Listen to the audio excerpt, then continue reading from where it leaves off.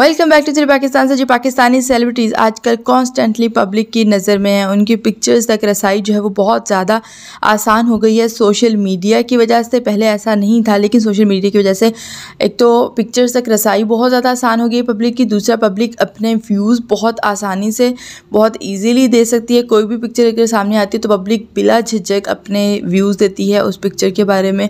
कोई भी वीडियो आए उसके बारे में।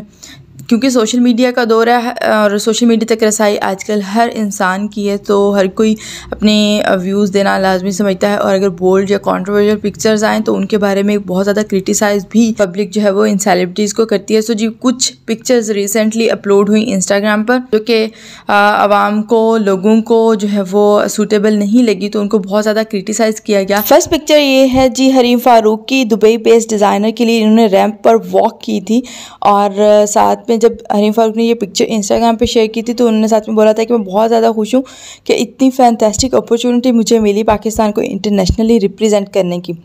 हरीम फारूक ने जब ये पिक्चर शेयर की थी इंस्टाग्राम पर तो उन्होंने बहुत ज़्यादा सोच समझ कर, बहुत ही चूज़ करके पिक्चर शेयर की थी। लेकिन रैम्प वॉक के फोटोग्राफर की तरफ़ से जब पिक्चर्स अपलोड की गई सोशल मीडिया पर तो पब्लिक ने बहुत ज़्यादा क्रिटिसाइज़ किया।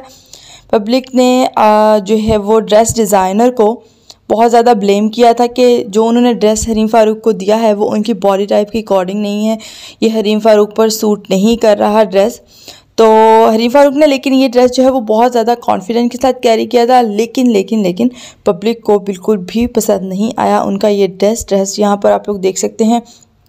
आप लोगों की क्या राय इसके बारे में शेयर ज़रूर कीजिएगा। सेकंड पिक्चर है जी अनमोल ब्लोच की ब्लैक साड़ी में। आप लोग देख सकते हैं, अनमोल ब्लोच को बहुत दफ़ा क्रिटिसाइज़ किया गया। उनकी ड्रेसिंग की वजह से, उनके बोल्ड पोजेस की वजह से।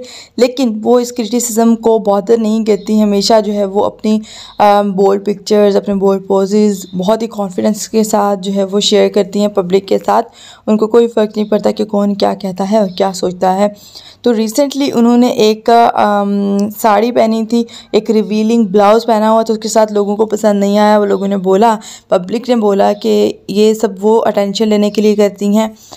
और आप लोग यहाँ पर पिक्चर में साड़ी भी देख सकते हैं, बहुत ही खूबसूरत सी साड़ी है, लेकिन उनका रिवीलिंग ब्लाउज़ पब्लिक को पसंद नहीं आया, और पब्लिक ने बोला कि ये पर्पज़ ये जो है वो उनने पब्लिक को पसंद नहीं आया और पब्लिक ने बोला कि ये सब कुछ अटेंशन लेने के लिए है।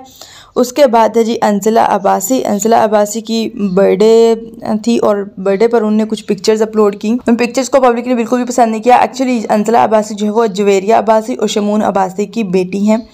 अब्रॉड में उनका ब्रॉटअप हुआ है, उनकी ड्रेसिंग भी वैसी ही है।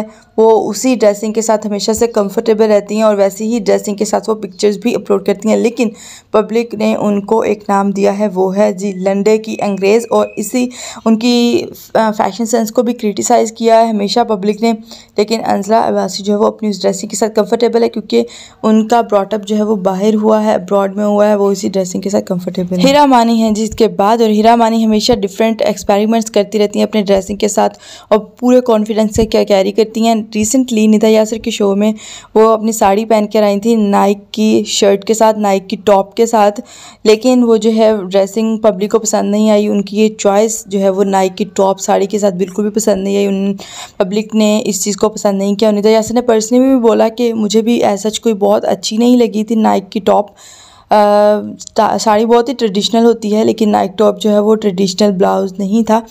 तो पब्लिक इसके साथ खुश नहीं थी। पब्लिक को ये बिल्कुल भी पसंद नहीं हुआ और निदा यासिन ने भी डिसअप्रूव किया इस फ़ैशन सेंस को। अब यहाँ पर मैं आपसे शेयर कर रही हूँ हिबा बुखारी और अरेज अहमद की हनीमून से पिक्चर्स हिबा बुखारी और अरेज अहमद की शादी जो वो टोटली एक पब्लिक सरप्राइज़ था। उन्होंने अपनी शादी जब अनाउंस की, उसके बाद बहुत सारी पिक्चर्स और वीडियोस देखने को नज़र आई। फिर उन्होंने अपना हनीमून प्लान किया। हनीमून से जो पिक्चर्स सामने आई, वो उनको बहुत ज़्यादा क्रिटिसाइज़ किया पब्लिक ने।